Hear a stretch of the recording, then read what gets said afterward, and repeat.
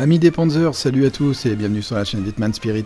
Alors aujourd'hui les gars, euh, je vous retrouve pour un petit gameplay euh, assez, court mais assez intense et vous allez voir que on peut dire que c'est vraiment une blitzkrieg sur cette euh, partie en Panther 2. Donc ça faisait un petit moment que je vous avais pas refait de vidéo avec le Panther 2. Et comme j'ai trouvé que le gameplay avait été plutôt intéressant, je me suis dit tiens c'est l'occasion de vous, de vous représenter le Panther. Alors on va partir donc sur la carte Normandie au niveau du point C en mode domination. Alors je pars toujours euh, sur le côté euh, gauche euh, du point C pour ensuite repiquer un peu plus haut dans le centre de la carte au niveau de B. ça évite les face-à-face en contrebas qui sont plutôt violents et en plus avec le Panther 2 au niveau de la tourelle on sait bien que ça encaisse pas super bien. Et les chars guerre froide en face, franchement, vous plient en, deux secondes. Hein. Quand vous êtes en face à face, c'est toujours compliqué. Donc en plus de ça, bah, ça évite aussi de, de se faire surprendre sur le flanc gauche puisque vous avez toujours des ennemis qui essaient de, venir euh, chercher le point euh, sur le flanc gauche. Alors on va partir. Alors je, pars euh, vraiment excentré, je pars le plus large possible sur C.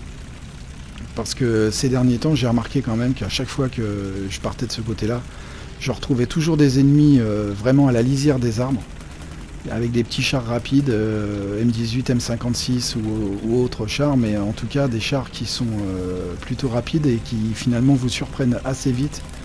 Donc euh, vaut mieux être prudent, même si on a l'impression que ça fait un petit détour pour aller sur B.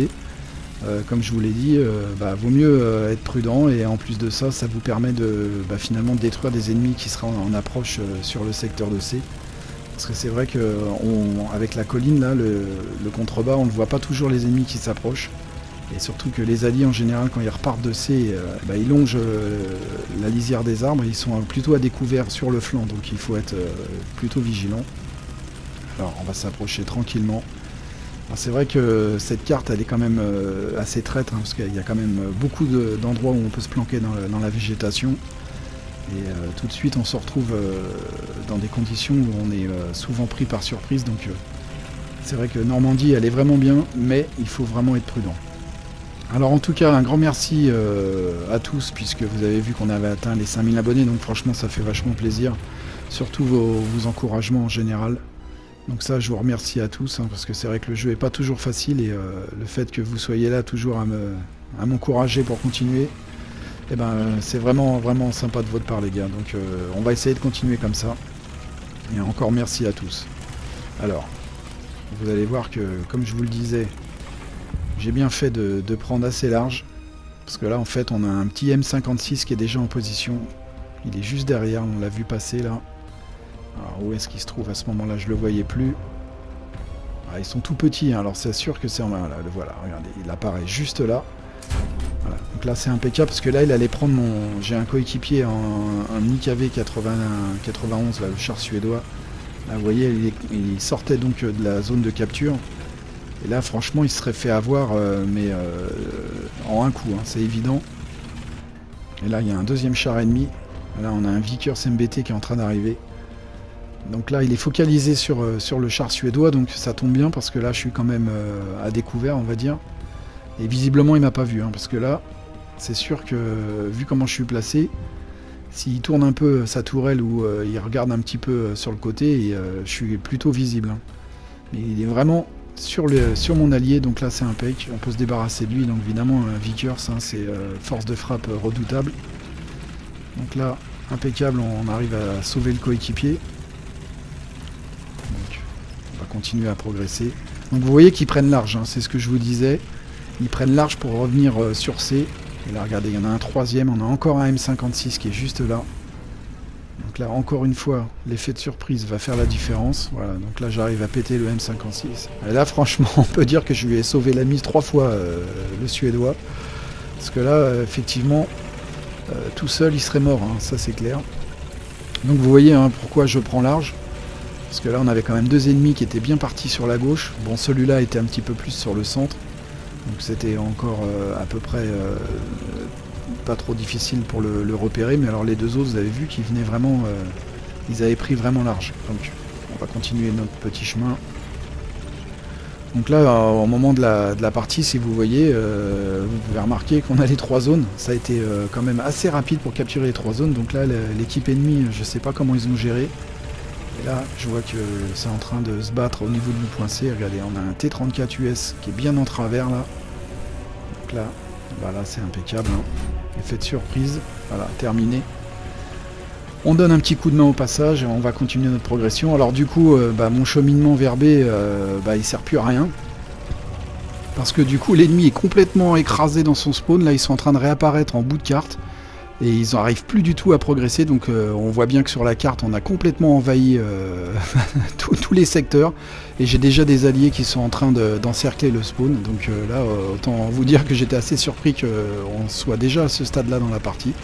Parce que finalement, euh, je voulais venir euh, ensuite euh, donner un coup de main sur B, mais en fait, à ce stade-là, bah, ça sert plus à rien, puisqu'ils sont déjà tous là-bas. Donc vous voyez, ils sont tous en train de réapparaître là. Donc là, on va rester à bonne distance, hein, parce que là, quand même, il y a du char violent, il y a du M103, du M48, enfin bon, il y a des chars qui sont largement capables de me désintégrer en un coup. On va garder une bonne distance de sécurité. Donc là, j'ai une assistance sur le M103. Donc là, vous voyez que bah, sont finis, quoi. C'est terminé pour eux. Donc là, on a un, petit M26 qui avait la tourelle de tournée. Donc là, on va continuer à les, achever. Hein. Là, effectivement, euh, ils n'ont pas d'autre choix. Ils sont, foutus. Donc là, regardez le M48, on le prend tranquillement. Alors là, c'est sûr que euh, quand vous êtes en face, là, autant vous dire que c'est plutôt désagréable comme situation. Parce que là, vous savez que c'est terminé. Hein. Là, vous pouvez plus rien faire. Donc bon, bah, ça reste une partie euh, assez courte, mais bon, c'était surtout le, cheminement tactique au niveau du, point C et pour aller vers le point B que je voulais vous montrer, euh, en tout cas de prendre des précautions euh, sur cet axe. Et bon, bah, le reste de la partie, on va finir comme ça, on va, on, va, les, on va les achever tranquillement. Alors là, on a un T26E1 qui s'est un petit peu retranché. On va essayer de le déloger. Là, il est derrière les arbres, donc premier coup, je tape dans le, au niveau du glacis euh, à ras du bas de caisse, ça suffit pas. en plus, à cette distance-là, il est plutôt solide, le T26, effectivement. Donc on va essayer de le raligner euh, tant bien que mal. Alors c'est vrai que là, euh, quand vous êtes à découvert comme ça avec les ennemis, vous, vous enveloppe complètement, là c'est foutu. Hein. Donc là, vous voyez le T26, on finit sans trop de mal. Bon, là, on peut dire qu'on les a vraiment écrabouillés. Hein. alors je sais pas comment ça se fait que ça a été si rapide. Euh, l'équipe ennemie a vraiment mal joué, je pense. Mais bon, bah du coup, euh, ça fait toujours plaisir de, finir une partie comme ça. Alors j'en profite, euh, je voulais passer un petit coup de pouce à un, petit gars sympa, Leclerc Fellow.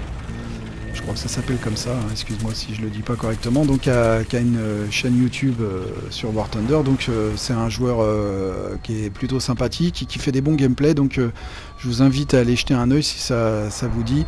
Vous verrez, euh, ces vidéos sont plutôt sympas, il y a une bonne ambiance. Donc euh, vraiment, allez-y, allez euh, c'est plutôt sympa comme, chaîne. Donc voilà, le Clair Fellow, j'espère que tu auras un petit peu de monde qui viendra voir ta chaîne.